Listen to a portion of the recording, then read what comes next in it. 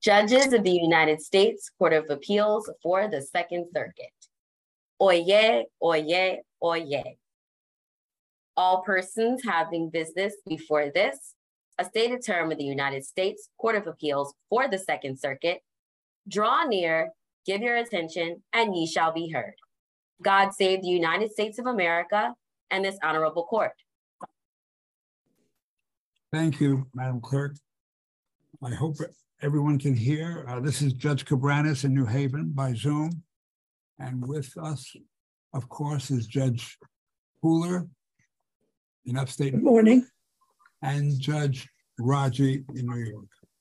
So uh, I hope everyone can hear. We're ready for arguments in Giuffre versus Doe 107 and Doe 171.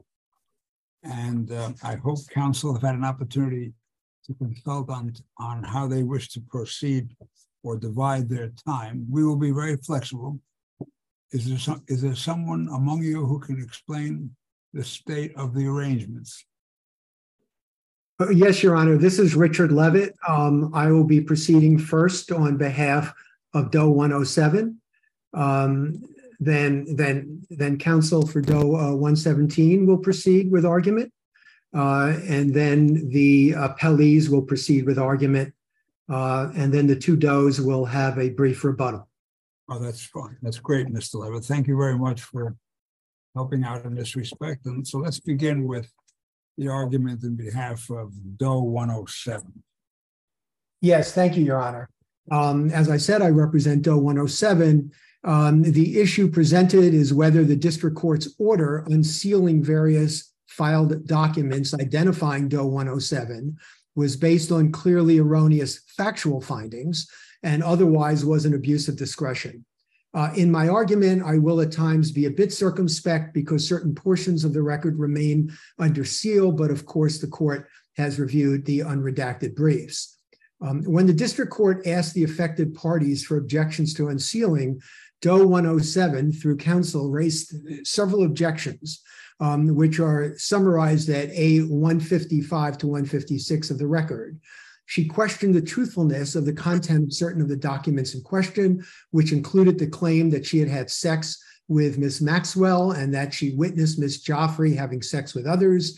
She also noted that she was identified as someone who, quote, has knowledge of Ghislaine Maxwell and Jeffrey Epstein's sexual trafficking conduct and interaction with underage minors. She said these revelations would not only scandalize her, but would also put her at physical risk for reasons we stated in our brief. And she pointed Counsel, out. counsel, aren't these revelations already public? No, Aren't these already public? No, they were not, Your Honor. These, these were not. Portions of the sealed documents uh, have been published, but not the revelation, not the identity of Doe 107. So that's why in our brief, we're requesting um, that the records, to the extent they are unsealed, do not include the unsealing of the identity of 107 or any information that could lead to the identity of 107. I believe that my co-counsel, uh, or I should say respondents have alleged that information concerning co-counsel's client has been made a matter of public record, but not the information with regard to Doe 107's identity. Um, so, Well, can you tell us, Mr. Levitt, specifically, um, what are the specific harms that your client would face if these documents are unsealed pursuant to the district court order? Sure. Um, she she's facing the the possibility uh, of what's called an honor killing in her home country, uh, which is a very conservative country. Uh, and and I know that if the court reviews the record uh, and even reviews the history of honor killings within this country, uh, the court would would realize that that's still a very real problem. She noted in her opposition papers that in fact she had already received a, a threatening correspondence. Um, so there's no question that she May made. I ask you on that, Mr. Levitt? Um, I saw the attestation to the receipt. Was the correspondence itself made part of the submission to the court? My understanding is no. Um, Yeah, that's what I thought. Now, I also want to be clear that your um, argument today is that the district court erred in thinking your client made only general complaints. And you're now saying these facts that you're alluding to are specific ones that should have been addressed. Do I understand your argument correctly? You do, Your Honor. Um, we are And making. so you want a remand at least for the district court to consider these facts. Well, Your Honor, certainly a remand at least, but I also believe that given um, the undisputed facts, because the facts that we allege have not been disputed. They've been disputed by neither party and not by the court either. And if those facts um, are accepted as true as they should be at this point in time, um, they certainly demonstrate uh, that Doe 107 was entitled to have these facts remain sealed, even if the balance of the documents in question uh, are unsealed. Um, so I don't think that that, for example, uh, Giuffre should get a second bite of the apple. Uh, if she wanted to object to any of the facts that were alleged, she certainly had more than an opportunity to do so. Um, so But what do the Counsel, counsel, isn't it you who are seeking a second bite of the apple since you didn't put in evidence of the safety issues or the fear that 107 has? No, Your Honor, because we, we were asked below to make a clear statement of what our objections were. And we in fact did exactly that, and nobody questioned it. If it had been questioned, then a factual issue would have arisen. Um, but they weren't questioned. Uh, and therefore they should be accepted as true. Nobody has suggested otherwise. Uh, in fact, in, in their brief, um, neither the Miami Herald nor Ms. Giuffre um, even wants to discuss, apparently, these very, very specific facts. So the Miami Herald simply says Doe 107 fails to assert anything other than generalized concerns of adverse publicity, and such generalized concerns do not outweigh the presumption of public access. Well, again, these weren't generalized concerns. Uh, and Ms. Giuffre merely states that Doe 107's current argument is essentially that the district court somehow did not adequately appreciate the countervailing interest Doe 107 presented without ever mentioning what those countervailing interests were. Um, but you know, even if the district court had accurately characterized Doe 107's concerns, which it did not, it nonetheless would have abused its discretion by granting the motion to unseal the portions that identified uh, Doe 107. Um, as Judge Cabranes said, uh, in Brown versus Maxwell, uh, while evidence introduced at trial or in connection with summary judgment enjoys a strong presumption of public access, uh, documents that, quote, play only a negligible role in the performance of Article 3 duties, unquote, are accorded only a low presumption that amounts to little more than a prediction of public access absent a countervailing reason. Um, in our initial brief at pages 13 to 15, we show that the portions of the documents identifying Doe 107, which we believe should not have been ordered unsealed, were attached to discovery motions. And that in fact, those portions identifying Doe 107 were absolutely no relevance whatsoever to deciding those discovery motions. So for this reason, we question even whether or not the portions uh, in issue should be considered judicial documents.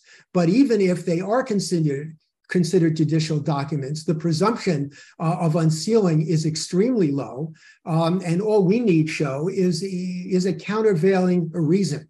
Judged against this standard, it was an abuse of discretion to permit the documents identifying Doe 107 to be released to the public because, in fact, there were countervailing reasons militating against disclosure, in particular, the specific safety related reasons and other, and other concerns Doe 107 proffered, the truth of which has never been questioned. Uh, thank you, Your Honor. Thank you, Mr. Levitt, very much. Uh, do either uh, Judge Pooler or Judge Raggi have any additional questions at this time? Not at this time. No, thank you. Okay, so let's turn to counsel for Doe one seven. May it please- 171. 177. Oh, yes. May it please the court, Courtney Caprio on behalf of appellant Doe 171. Just one second. 170. Doe 171 is a foreign citizen and resident who has resided her entire life abroad.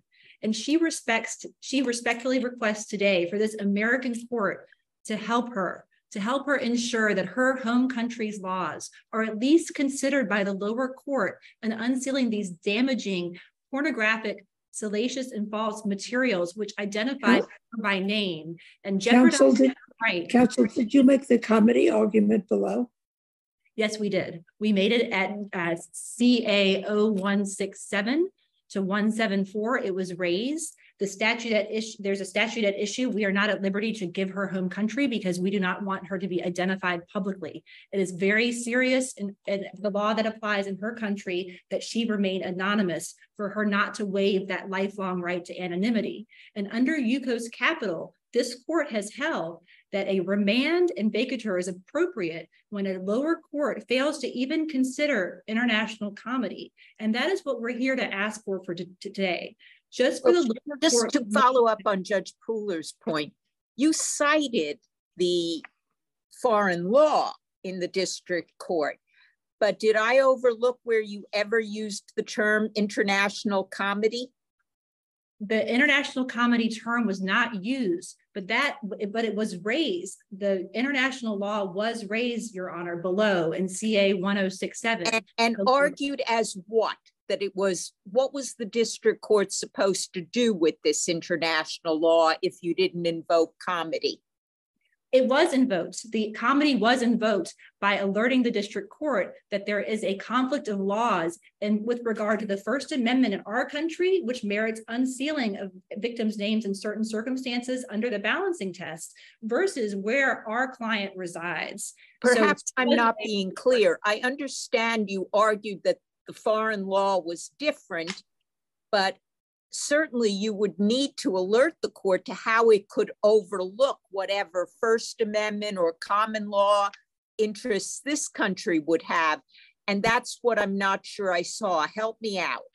Yes, Judge Pooler. Uh, if you, uh, we have it, I can point you to the record in CA 1067 to 174, but the court not even read, does not even need to reach the waiver issue because in Gucci American Weixing Li, this court has raised that the issue of comity is not forfeited simply if a party did not raise the issue or request.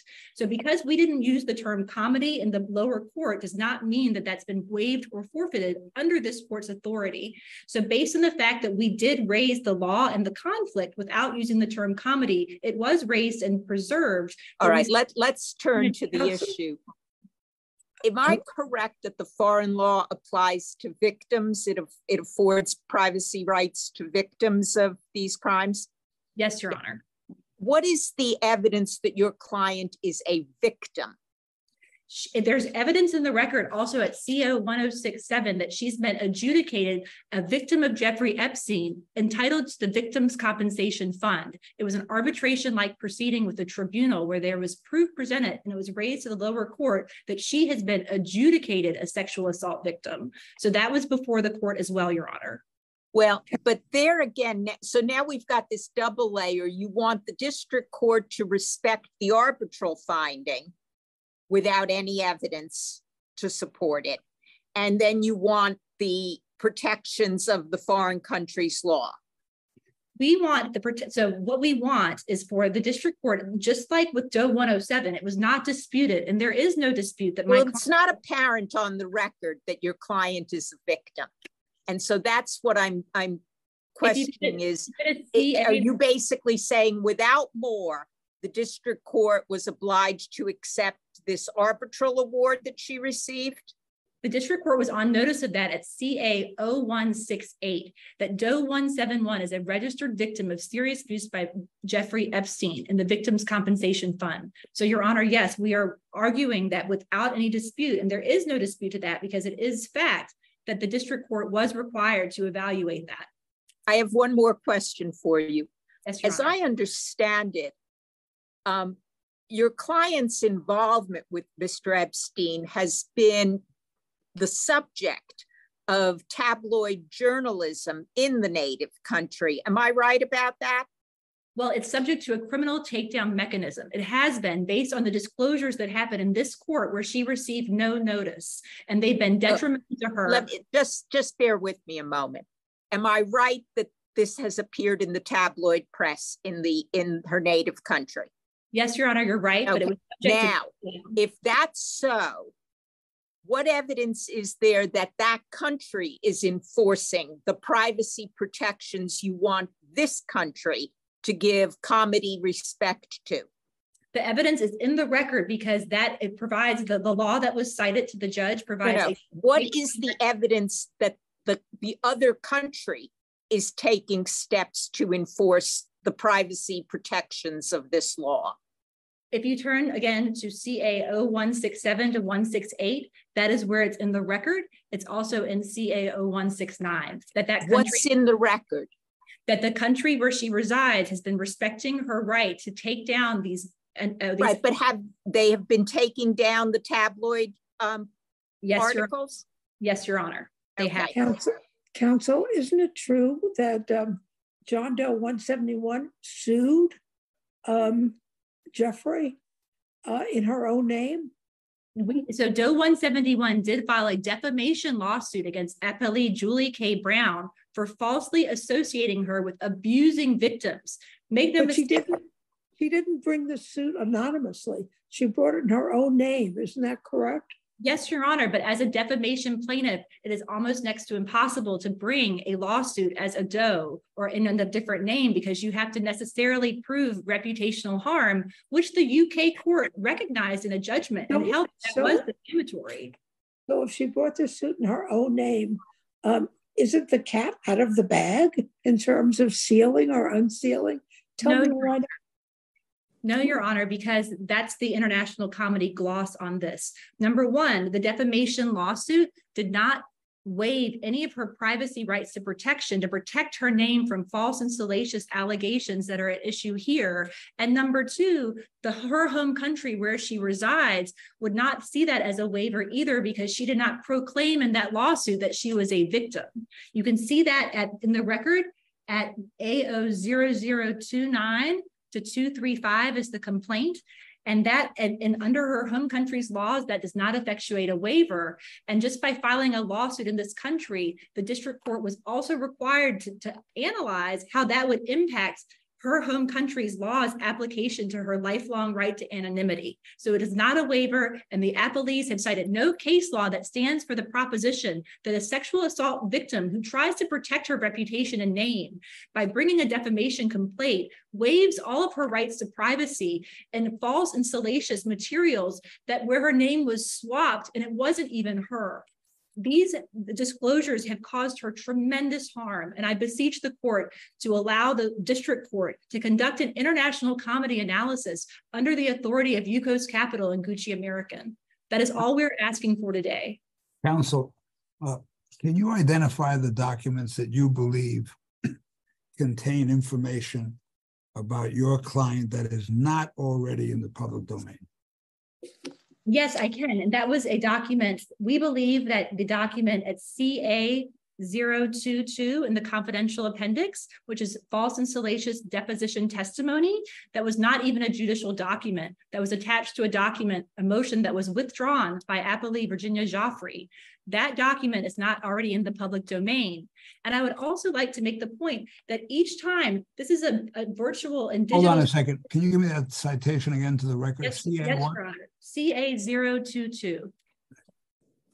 Okay. And every time this comes out, there's a crescendo of news coverage because of the 24 hour news cycle. So just because some other documents have already been disclosed, that does not eviscerate her lifeline, lifetime right to unanimity, anonymity in her home country. Each time this, these disclosures come out, it's like Chinese water torture for her. And she is forced to spend the money that she received from the victors, Victims Compensation Fund to get the media to take down these salacious and false allegations that are coming out of this proceeding where she was a non-party and had no participation or interest in any of this. She just wants to live her life and remain anonymous. And that's all we're asking the court here today is to try to respect the, the have an American court respect her as a foreign citizen who's subject to different laws and different expectations of privacy as a sexual assault survivor and victim. Thank you very much. My, I just want to be correct that I got your, your um, references to the record correctly. Are you referring to 0167, 0169 as the pages that support this? Judge, it's uh, actually a confidential appendix. It's CA 01067 through 1073. Okay, Thank you for your time. Bear with me a moment as I pursue, yes. CA zero one six seven through what, zero, CA? Oh, CA zero, C is in cat, CA 0167 through 0174. Right. But again, under Gucci American, the international comity analysis is not waived. right. It's not a sworn document, is it? No, Your Honor, it is not. Okay.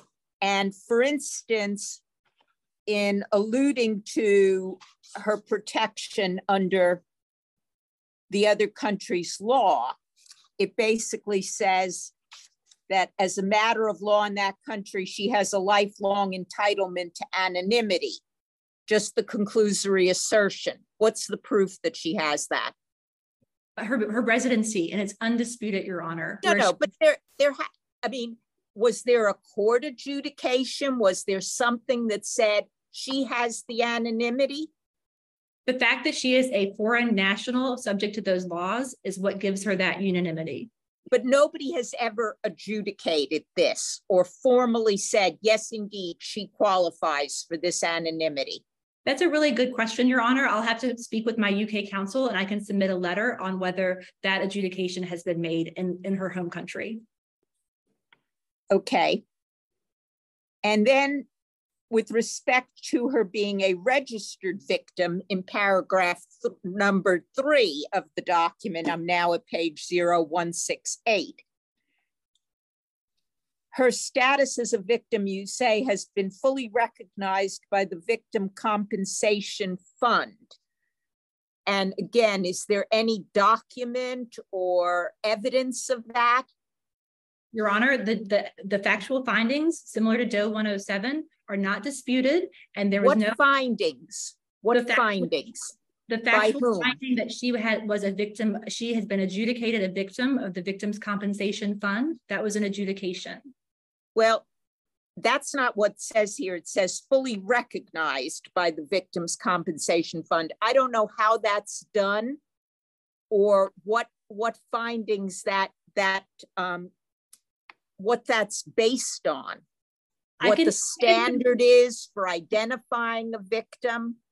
I can submit additional materials, but there was an arbitration where victims that were victimized by Epstein were able to present a case similar to what happened in 9-11, where there was an arbitrator that had, there was a, a wasting fund where they, it could be applied based on the evidence and testimony that was given. That's my understanding of what occurred. Now, you just referred to an arbitration. I don't see any me- mention of an arbitration in this, uh, in these pages you're talking about. Have I overlooked something? No, Your Honor, I'm using that more as an analogy that there was some type of like a private court proceeding that was closed where there were determinations of fact made based on testimony and evidence given in order to determine the amount of money victims, adjudicated victims were entitled to from the Epstein Victim Compensation Fund. I didn't understand your client to be underage. Is that right? She was very, she was very young at the time. She was a college age, but very, Okay, she was not underage. She was not underage. Okay, so what's the basis of her victimhood? The fact that she was uh, sexually abused is the, the basis of her victimhood. But sexually abused how? I understand with many of these victims, it's because they were underage. Right. Unfortunately, Your Honor, she's unable to really speak with me in detail about what she suffered at the hands of Jeffrey Epstein. The fact is that she came over to this country as a young girl in her early, I think she was 20 years old or 19 when she came here, and that's when the abuse occurred.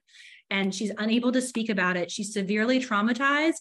She's been unemployable. She lives in her foreign country, and everything was going fine. And she was dealing with her trauma until the summary judgment record was revealed, which you noted would have could have grave and irrevocable consequences. And that's what's happened here. And that's the predicament that she finds herself in. Thank you, Judge Cabranes. I don't have any further questions. Judge Pooler, any, any, any other questions? I have no further questions. Thank you. All right, so we'll turn then to counsel for the respondents. Um, From whom do we have the pleasure of hearing in behalf of the Miami Herald Media Company? I, I think the, okay, go on. I think the first Your Honor, case, think, yes, thank you. I think, um, Your Honor, they told us the order would be, um, Right, one oh seven. Virginia Giuffre first and then the Miami Herald. That's fine. Let's go to one oh seven. Good afternoon, Your Honor. My name is Sigrid McCawley. I am a partner with Boies Schiller and Flexner. I'm here on behalf of Virginia Giuffre. Uh, thank you so much for your time this afternoon to the panel. It's not surprising to me to hear that these individuals, Doe 107 and Doe 171, do not want to be associated with Jeffrey Epstein's sex trafficking enterprise. No one wants to be associated with Jeffrey Epstein's sexual trafficking enterprise but there's been a veil of secrecy for far too long. And once documents started to get disclosed and information was uncovered, we have seen tremendous justice. The arrest and eventual death of Jeffrey Epstein in prison, the arrest and eventual death of Jean Luc Brunel in a French prison, the arrest of Ghislaine Maxwell, serving now almost 20 years in federal prison, the stepping down of Acosta as Secretary of Labor, the stepping down of Leon Black from Apollo, the stepping down of Les Wexner from Victoria's Secret, the Queen Elizabeth stripping Prince Andrew of his titles, and finally, millions of dollars being distributed to these uh, survivors of Jeffrey Epstein. So we're here today to not talk about the issues of what people don't want disclosed, but rather to talk about whether the district court abused her discretion. And you also rightly said in your Brown versus Maxwell opinion that the focus there of this court is to examine whether the court's factual findings were looked at for clear error, whether its legal determinations should be reviewed de novo, and its ultimate decision to seal or unseal should be reviewed, for an abuse of discretion. I submit to this court that Judge Preska very carefully reviewed hundreds and hundreds of documents in the course of this review and made very difficult determinations with respect to sealing and unsealing, as you've seen in this matter. Now, there were two issues raised here today uh, by Doe 171 that were not raised with the lower court. And I submit to this court that uh, your decision of the Second Circuit in Green versus the United States focuses on those issues that are not raised with the lower court cannot then be raised uh, with the Court of Appeal. And those two issues were the challenge to whether or not these were judicial documents that you heard today, and second, the issue of international comity. Taking first the issue of judicial documents, uh, clearly um, that these are, to the extent this court were to reevaluate this, you just need to look at your own decision in Brown versus Maxwell, where you analyzed what judicial documents were.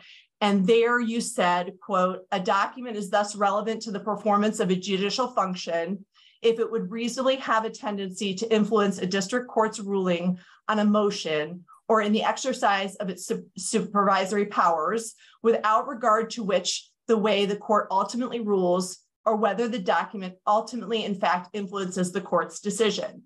These documents of Judge Sweet that were judicial documents, he was looking at these in the context of many, many discovery motions that he had to handle in the course of this litigation. And so the district court, uh, Judge Preska correctly found these to be judicial documents in rendering her decision here. Now, the second issue that you all have already discussed today is that issue of international comity which was not specifically raised uh, with the lower court. That's why you did not see um, in Judge Preska's uh, decision any discussion uh, of any significance with respect to that. Uh, Part of the argument is that it should have been discussed. At least that's how I understand your adversary. It should have been discussed, and it was a mistake not to.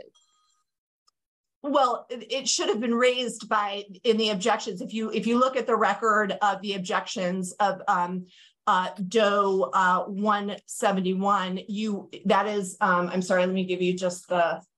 If I have the record site here.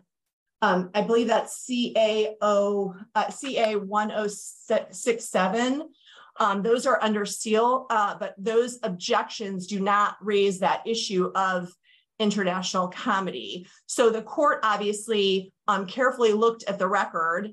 And um, in that record, as you've noted today, uh, there are a number of things um, that that she noted that were available to her. For example, this individual had already been quite public, um, which is something that the, the court. Let me ask you this. Do you dispute that she's a victim of Jeffrey Epstein's?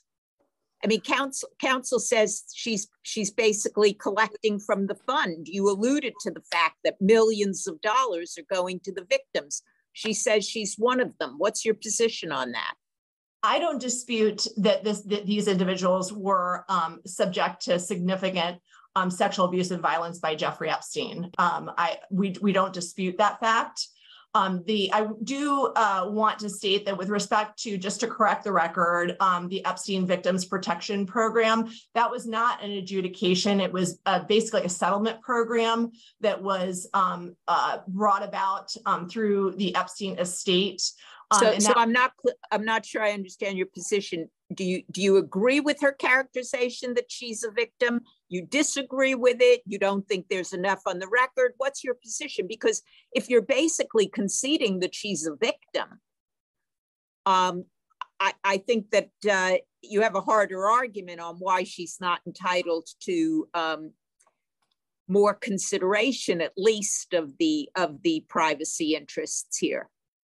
Well, I certainly wasn't involved in her uh, in her presentation to the victims program. I don't have uh, specific information on the record other than what I've seen, so I'm not in a position to make a judgment uh, with respect to this Okay. particular um, Jane Doe. But I was just trying to clarify for the record that that wasn't an adjudication that happened with the Victims Protection uh, Program. It was simply a, a, a program where individuals could present information to um, the individual, the claims program administrator, um, with respect to, But to that. presumably not everybody comes up and says, I'm a victim and they get handed an amount of money. Somebody's making a decision. Do you know what that is? Correct. There is a claims administrator who makes a decision based on all the information um, that is submitted um, in that process. So there were many, many individuals, hundreds, in fact, of individuals who received funds out of that program. So uh, with respect to um, the court's decision uh, relating to 171, Judge Preska did um, review the materials that were submitted to her and made decisions in accordance with that. Um, and uh, in my view, it's not um, a situation where it's very easy for this court to sit and second guess that. We're looking at it from an abuse of discretion standard. And uh, she did not abuse her discretion in conducting that very detailed um, methodical review. Uh, the other issue that this court is looking at is the, the correct weight of presumption to give to the public access. And you heard um, my colleague, colleague, Mr. Levitt, saying that should be very minimal. Um, but that's not what you all said in, in Brown. That is not um, what the standard is. The standard for these types of discovery slash non-dispositive motions is that it's a lesser standard, of course, than the summary judgment standard, but is still, quote, substantial. And so that's important when we're looking at that. She, Judge Preska had a very difficult job. She has to weigh um, the information before her and determine the, the public's real right to access in this in this situation under Article 3 that she has to consider and also those privacy interests. And I submit to you that she carefully, we've been through numerous hearings with her on this, and she has carefully um, gone through this record and made those determinations. And So she has had to balance those issues. Um, me- just very, let me, oh, so ask a, a very simple question? of course. What is, what exactly is your interest here? Why do you care? Why do we care? It's a great question, Judge. Um, we care because obviously um, Virginia was the initial plaintiff in this case, and as part of that, uh, there was a protective order put in place. Um, that protective order, as you all have seen, Judge Sweet eventually um, uh, just allowed basically everything to be filed under seal. Fast forward, um, at some point in time, different individuals came forward to try to cherry pick certain things to be released from that record, which Virginia, my client, who, whose information is in that record, said would be inherently unfair. Either there has to be a process where everything is unsealed. It can't just be that certain documents that one individual wants to be public become public. So that's So her interest. focus Yes. again on her interest. What, what is her interest with respect to uh, Doe 107? Why does Her- she care? she cares because as you've seen in the record, that's her many of the pieces of information that are that are being evaluated here are either her testimony or information relating to her experience. So she cares because if if only part of the record is going to become public, that's inherently unfair, right? So either in, what, in what way, in what sense would, would it be unfair? It would be unfair because she can't freely speak about um, things that occurred in that case where half of it's sealed. So, in other words, it restrains the ability of uh, her, and the public to be able to evaluate what happened with respect to this sex trafficking enterprise. So it it causes her to be gagged with respect to a number of issues where she can't explain something because it's half of it's been kept under seal.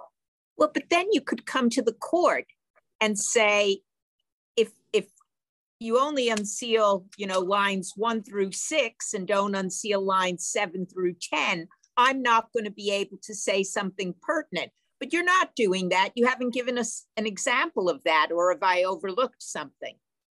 Well, that's really how this process started, right? So our initial briefing on all of this was when uh, Mr. Dershowitz came to the court and wanted to only unseal three documents, and that's how this all started. And and we opposed that and said no, it cannot be selective unsealing. That would allow one individual to say things that were in our view, very untrue. And we would not be able to contest that because we wouldn't be able to fall back on our own record. So the court created a process whereby it went through very carefully and unsealed the summary judgment materials that you all did here in the Second Circuit.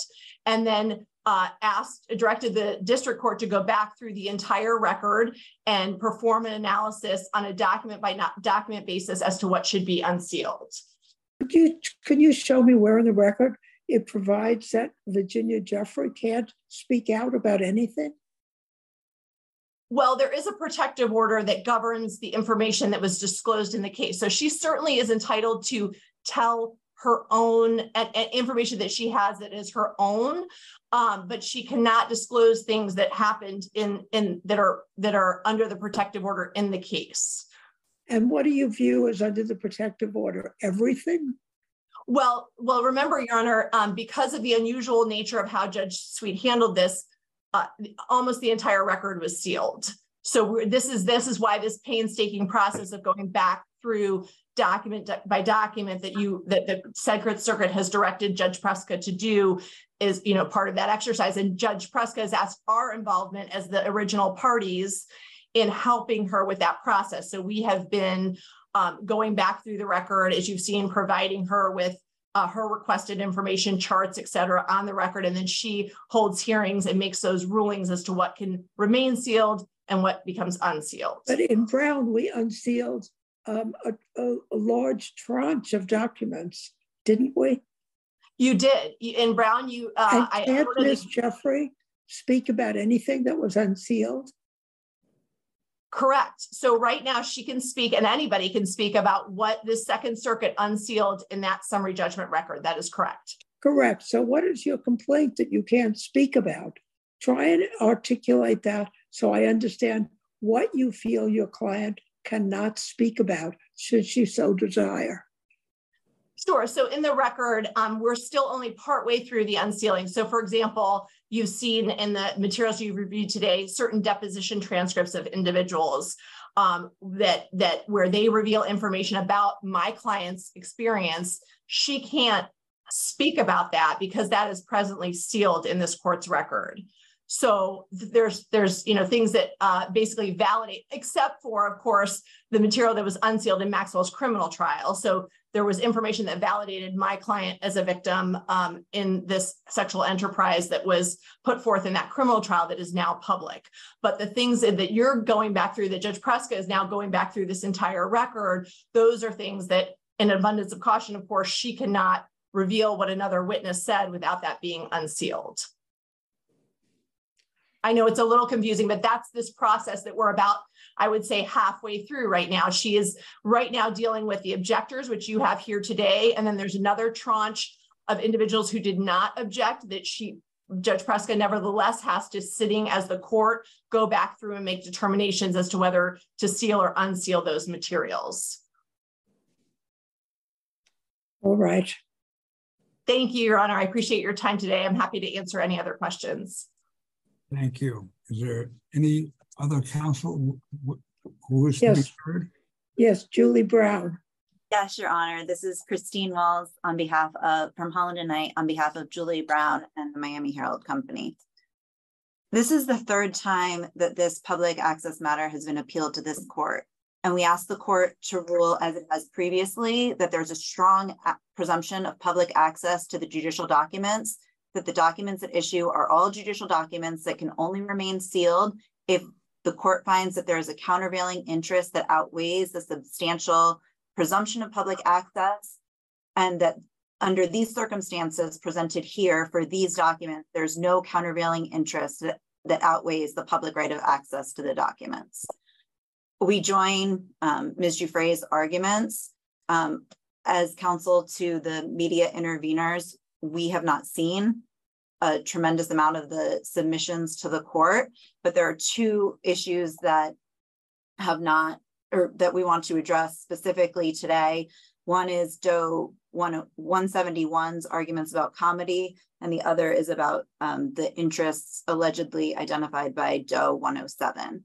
Um, with regards to the comity arguments, um, and and um, Doe 1 171's uh, ability to remain um, anonymous uh, Doe 171 cannot choose to share certain information in litigation that she initiates and then assert a privacy interest concerning related materials that are those issues that are those documents at issue in this appeal. Um, and her assertion that this court should apply another court, another country's law is without merit and would lead to an unconstitutional result. The court is bound by the public right or I'm sorry, by the First Amendment right of access, not another country's privacy law. And it would violate the Supreme Court precedent on both public access and prior restraints to seal material that's already been disclosed in public um, court hearings. Additionally, Uh, counsel, yes, counsel, can you tell me what the status is of the lawsuit between what 107 was suing Julie Brown and the Miami Herald? Isn't that correct? um, no, she was not suing. She only sued um, Ms. Brown. Oh, could you Not tell me what the status of that lawsuit is?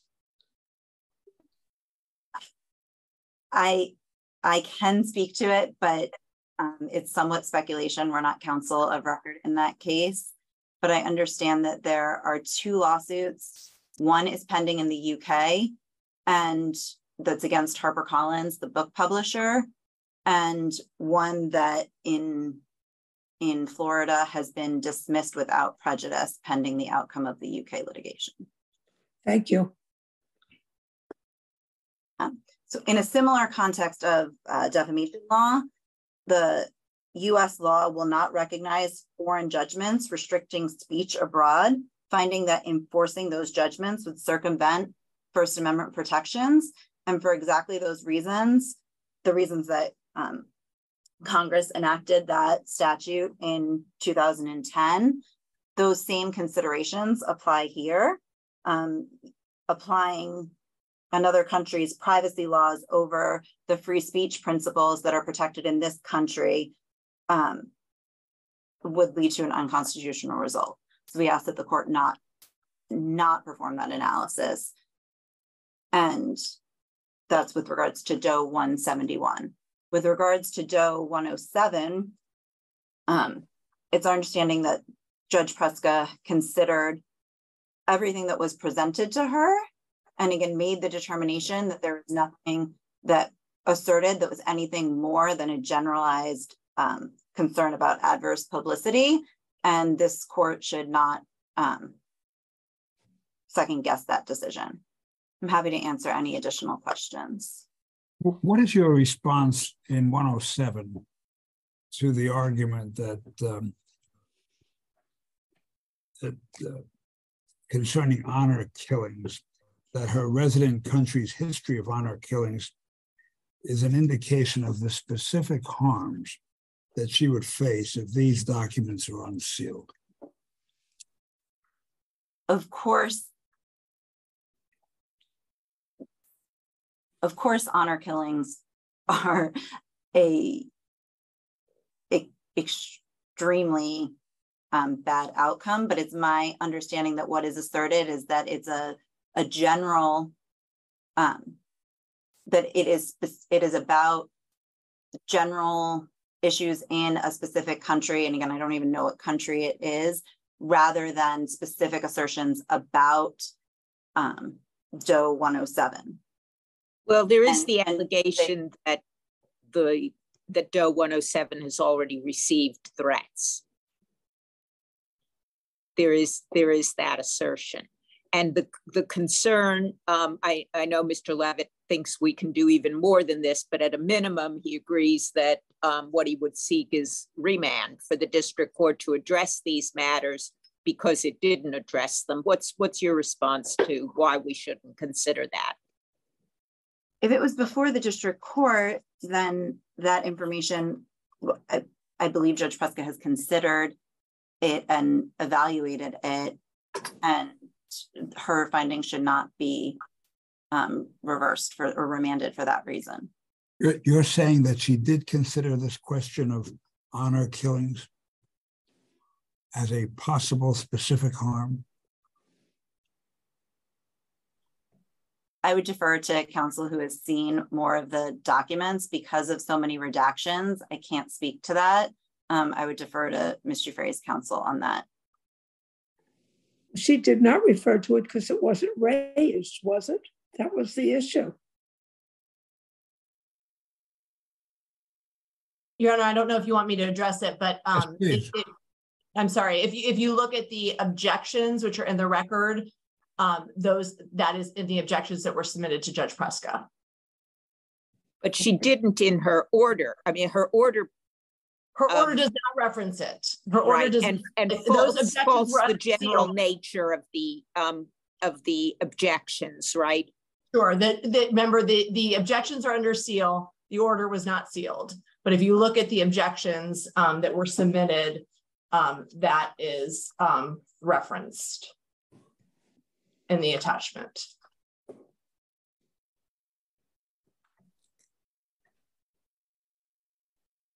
Okay, um, let's hear from um, appellant's counsel.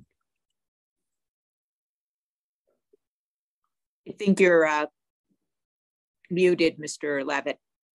Some people prefer it that way, Your Honor.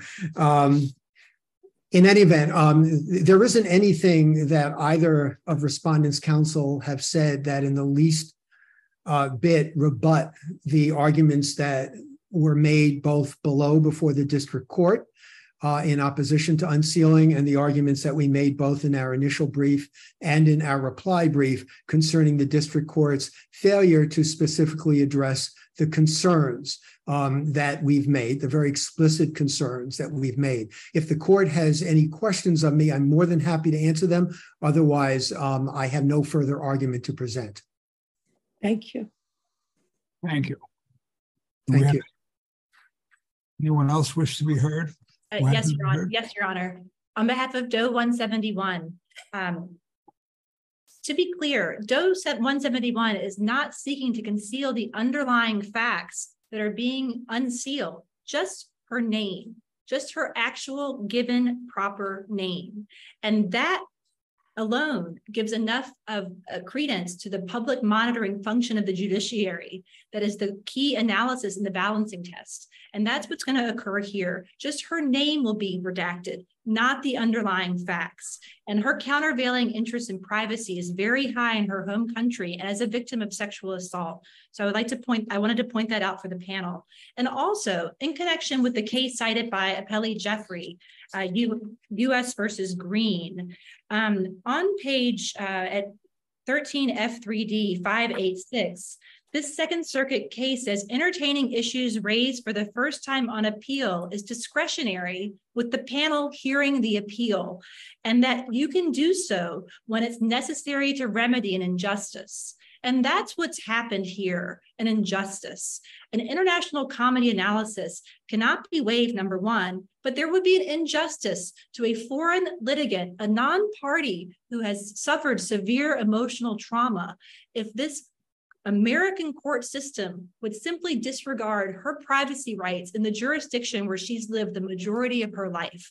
And for those reasons, we respectfully ask this panel to vacate the lower court's order and remand to conduct an international comity analysis and to also apply the low presumption of public access to these documents against the, her high countervailing privacy interests, which deal with severe psychological trauma that's in the record, as well as a different foreign law that applies and provides her with the lifelong right to an anonymity as a sexual assault victim of Jeffrey Epstein, a right that she depends on every day.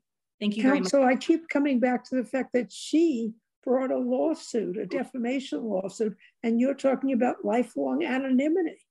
In, the you... in the defamation lawsuit, Your Honor, which is in the record at, it's in the record at A0229 to A0235, that was filed in concert with her UK counsel, so it would not jeopardize her right to lifelong anonymity. In that lawsuit, nowhere does she proclaim that she's a sexual assault victim. If she associates her name with being a sexual assault victim and acknowledges it, then that is waived. Then her lifelong anonymity is waived. And the defamation lawsuit does nothing to jeopardize those interests under her foreign law. And that's what applies to her. Um, before we let you go, I'm I'm still looking for where in the record there's the um, information you alluded to about the foreign country taking down um, information that had been posted.